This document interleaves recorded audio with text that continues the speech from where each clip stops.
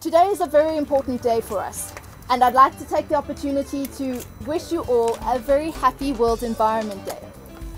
The Waste Stops With Me campaign has seen us nationally go into schools and communities and do programs through education, awareness, and most importantly, hands-on community work. As the government of the City of Johannesburg, we are mindful that a sustainable city requires partnerships with all community to protect the environment and ultimately ourselves. I was excited to see the young people and the young learners together with us because the future generations hold the sustainability of this world and therefore it's really exciting for us as UN Environment to be part of this and we look forward to many more years of our collaboration with the City of Joburg, with Miss Earth, with the Canadian Embassy and with all of you, young and old, in order for us to bring and build a better future.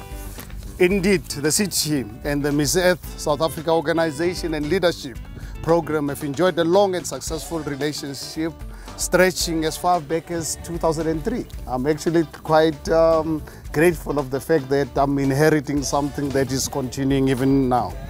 The work we have done together has not only received recognition here at home, but across the globe as well. Let us take the responsibility to ensure that we keep our neighborhoods, we keep our streets, our environment as clean and protected, not just for us, but for future generations. Today, Waste Stops With Me is an opportunity to reach communities that don't really think of waste on a daily basis. In our homes across the country, from across spectrums, what is it that we do to minimize the impact we have on the earth? What is it that we can do in our community? How do we further develop the unbelievable projects that touch lives across our nation?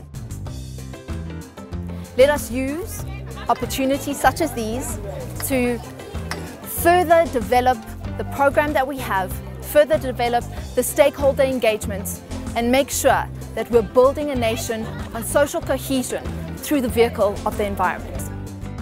We really wanted to be a part of this today because it is World Environment Day and Canada is the host country of this important uh, international day. You know, we've known Catherine Constantinides for a while and we're uh, incredibly impressed by the work that Miss Earth South Africa is doing to engage the public in the environment and to particularly teach young people about the importance of respecting the environment and doing what they can to make a difference.